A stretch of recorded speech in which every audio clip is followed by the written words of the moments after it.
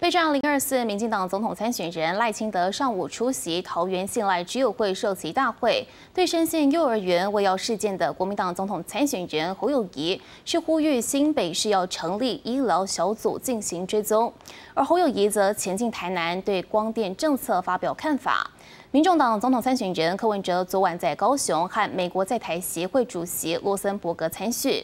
柯文哲今天表示，他向美方承诺，不管谁当选，台美的关系不变。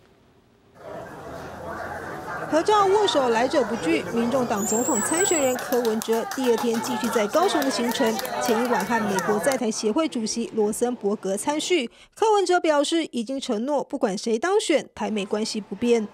美国政府哈一再表明说，他们是不会干干预台湾的选举嘛，哈，他只是希望说，不管谁当选，哦，台湾跟美国的关系可以保持良好。我说这没问题啊，这个这个。不管谁当选，台美关系都不会改变嘛。接送渔民陈情，国民党总统参选人侯友谊周六下午到台南七股关心沿海重电情况，渔民当面控诉重电冲击生计。侯友谊表示感慨痛心，认为能源政策需要调整。在能源的政策底下，把能源的配比里面考虑到核能进到里面，然后重新调整，照顾渔民的生计。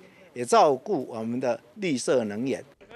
侯友谊前进被视为民进党主战场的台南，民进党总统参选人赖清德在出席桃园信赖之友会首期大会，则对新北幼儿园喂药事件呼吁新北市要成立医疗小组进行追踪。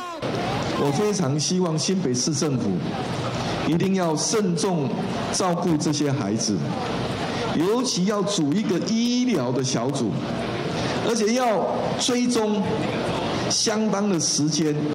赖清德也进一步表示，医疗小组至少要有小儿神经科医师、儿少精神科医师等专业人员。赖清德以医师的立场对侯友谊提出建议，也指出中央政府给了很大的资源，希望各界珍惜，蓝绿隔空交火。记者综合报道。